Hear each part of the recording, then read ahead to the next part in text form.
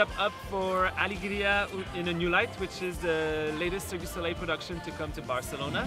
We saw 65 men pushing about 100 poles to make the big top take shape. It takes two days to set the big top and then it will take them about a week to get the whole site ready for the show.